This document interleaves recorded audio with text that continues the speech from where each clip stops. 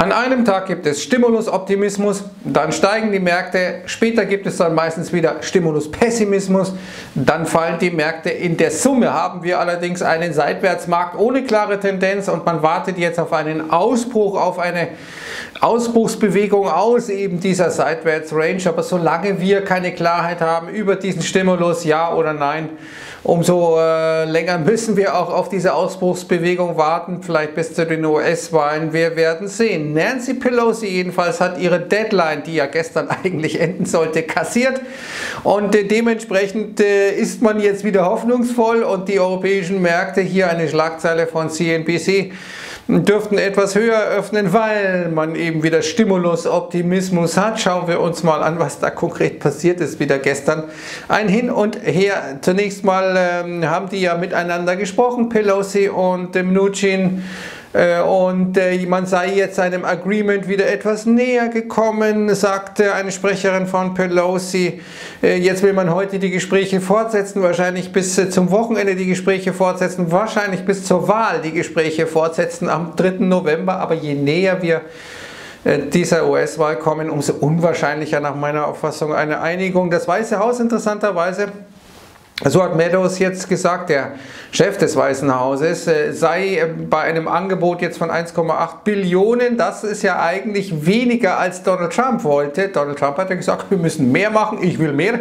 Aber es ist ja offenkundig eben schwierig, das durchzukriegen seitens der Republikaner oder innerhalb der Republikaner. Goldman Sachs jedenfalls, wie sie hier an dieser Schlagzeile erkennen, sagt, also für, aus unserer Sicht wird das nichts und da bin ich ziemlich eng bei äh, Goldman Sachs, weil äh, alles, was man jetzt tut, äh, kann sozusagen für die eigene Partei gefährlich werden, für den anderen günstig sein. Deswegen dürfte dieser Clinch weitergehen, dürfte das weitergehen, was ähm, hier schon länger der Fall ist, nämlich dass man wie ein Esel hinter einer Karotte herrenkt, äh, herläuft seitens der Märkte.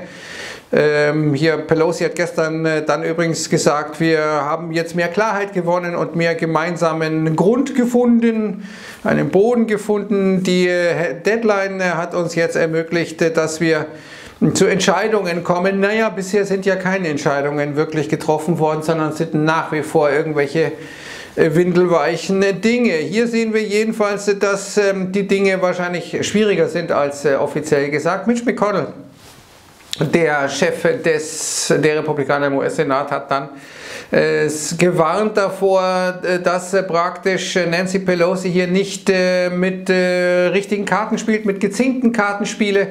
Die wollen, äh, sie wolle die Republikaner reinlegen, deswegen hat er eben die Republikaner im Senat gewarnt, ein solches Paket, wenn es zu einer Einigung käme, ähm, durchzuwinken. Das heißt, wir sehen hier wahnsinnige Widerstände. Der Senat hat es bisher nicht geschafft, irgendwas abzunicken. Dementsprechend ist die Wahrscheinlichkeit gering, aber die Märkte wollen eben diese Hoffnung haben. Das hat gestern diese Meldung hier über Mitch McConnell hat dann nochmal zu einem deutlichen Rücksetzer bei den Aktienmärkten geführt. Und hier zwei Cartoons, die zeigen, was der Fall ist. Der Esel läuft hinter der Karotte her. Und die Karotte bleibt und bleibt und bleibt. Trotz Deadline geht sie nicht weg. Es ist äh, ein permanentes Nancy Steven, nämlich Nancy Pelosi und äh, Steven Mnuchin. Also es ist äh, schon ein Trauerspiel, wenn man so will. Und die Aktienmärkte, das ist diese intakte Seitwärtsbewegung, von der ich sprach. Wir sind eigentlich in einem intakten Abwärtstrendkanal, seitdem wir das hoch gesehen haben bei 3500 was war es, glaube ich, so um die 70, 80, was wir im S&P 500 hatten. Wir haben die untere Begrenzung dieses Abwärtstrendkanals getestet, waren dann im RSI, wie Sie hier oben sehen, etwas überverkauft. Jetzt sind wir äh, wieder ein bisschen in Richtung der Trendlinie unterwegs. Die obere Begrenzung, die äh, passiert derzeit oder verläuft derzeit bei 3480 Punkten. Also äh, da ist schon noch Platz, ohne dass wir aus diesem Abwärtstrendkanal ausbrechen, aber es ist in der Summe eben ein Seitwärtsmarkt ohne wirklich klare Richtung, solange wir nicht Klarheit haben über Stimulus oder über die Lage in den USA nach den Wahlen. Wir haben etwas mehr Klarheit in Sachen Anleihemärkte. Hier sehen wir die Rendite der 10-jährigen US-Staatsanleihe und die steigt auf den höchsten Stand seit Juni diesen Jahres bei 0,82 äh, Prozent. Ja, nach wie vor nicht viel, aber wir scheinen da einen Boden auszubilden jetzt. Das heißt, wir könnten bald höhere Renditen, höhere Renditen für Staatsanleihen sehen. Und äh, wir sehen, dass, äh, das heißt mit anderen Worten, dass die Kurse von Staatsanleihen fallen, dann steigen die Renditen und umgekehrt. Und hier sehen wir mal historisch gesehen ein längeres Bild äh, über diese Renditen. Dann haben wir eine sehr, sehr klare Abwärtstendenz, möglicherweise aber jetzt eben erstmal einen Boden gefunden bei diesen Staatsanleihenrenditen. Und das ist ja sehr, sehr wichtig, denn steigende Renditen wären dann perspektivisch auch eine Konkurrenz äh, für die Aktienmärkte, wenn ich wieder ordentliche, zumindest akzeptable Renditen am Anleihenmarkt bekomme. Äh, dann äh, ist das für viele durchaus eine Alternative eben zu den Aktienmärkten. Es gibt ja diesen Spruch, there is no alternative. Tina, aber das wäre dann eben durchaus eine Alternative, wenn diese Entwicklung so weitergehen würde. Wir hatten gestern die Zahlen von die Netflix. Äh, enttäuschend, die Aktie um und bei 6% im Minus. Enttäuschend, weil eben das Nutzerwachstum nicht mehr so da ist. Das hat man offenkundig schon eben zu Beginn der Corona-Krise verfrühstückt. Da hat man eben wahnsinnig viele Neuanmeldungen gehabt, hat gute Zahlen gehabt, aber jetzt wird sich das eben äh, wieder normalisieren. Jetzt flacht die Kurve ab. Man hat also ein Stück weit im Frühjahr schon das verfrühstückt, was eigentlich an Potenzial da ist. Das gilt ja für uns allgemein. Wir verfrühstücken jetzt schon hm, die Segnungen der Zukunft. Das wird dann für unsere Nachkommen und Söhne und Kinder ein kleines Problemchen werden, weil wir uns den Bauch vorgeschlagen haben, wird es dann da etwas weniger geben. Aber wir sehen, dass äh, hier die Berichtssaison in den USA jetzt äh, ins Laufen kommt. Netflix jedenfalls war tendenziell eine Enttäuschung. Schauen wir uns nochmal die Corona-Zahlen an. Da sehen wir hier Europa mit einer steilen oder Westeuropa mit einer steilen Kurve nach oben. Heute in Deutschland über 7000 wieder, ich glaube 7500, aber Tschechien, äh, Spanien, Frankreich, ähm, Holland, äh, das, äh, Belgien vor allem, das sind die Spitzenreiter hier in dieser Statistik. Das sieht nicht so richtig gut aus.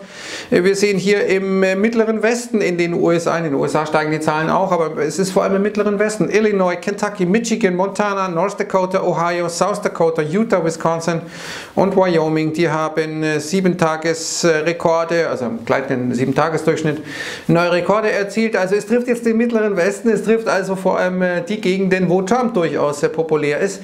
Äh, das ist äh, ein interessanter Punkt und wir haben insgesamt, wenn wir jetzt über die US-Wahl sprechen, ein sehr, sehr hohes Aufkommen an Early Votes. Man kann in vielen Bundesstaaten in den USA ja schon vorher wählen, sowieso per Briefwahl, aber teilweise auch in Wahllokalen. Es gibt immer wieder Bilder von langen Schlangen vor diesen Wahllokalen und wir sehen, dass wir jetzt schon sehr, sehr beachtliche Zahlen haben von Menschen, die ihre ihre Stimme abgegeben haben. In äh, Texas zum Beispiel äh, sind es schon mehr als die Hälfte als es äh, in 2016 insgesamt waren. Wir sehen auch New York ist da mit 39 Prozent dabei. Insgesamt sind wir 14 Tage vor der Wahl oder knapp 14 Tage vor der Wahl haben wir jetzt mehr als ein Viertel der Wähler, die schon äh, hier Early Votes gemacht haben. Jetzt mal nicht mitgezählt die Briefwähler, da haben auch schon 39 Millionen gewählt. Also wir sehen, das ist äh, durchaus so, dass jetzt hier schon sehr, sehr viel Potenzial abgerufen wurde. Die Motivations die Motivation ist da, hier zu wählen. Das ist äh, anders als 2016. Nach meiner Auffassung ist das eher äh, etwas, äh, was für die Demokraten spricht bei dieser Wahl. Man steckt nicht drin. Es ist schwer zu beurteilen, aber es wird auf jeden Fall eine ziemlich interessante Geschichte. Das ist schon mal klar. Und für die Aktienmärkte heißt das abwarten, abwarten auf den Stimmungs, abwarten auf die US-Wahl. Und solange wir hier irgendwie nicht Klarheit bekommen, dürfte die Seitwärtsbewegung erstmal weitergehen. So ist meine Vermutung. Schauen wir mal, wie die Berichtssaison läuft. Ich wünsche jetzt einen wunderbaren Start in diesen Mittwoch und sage Servus und Ciao.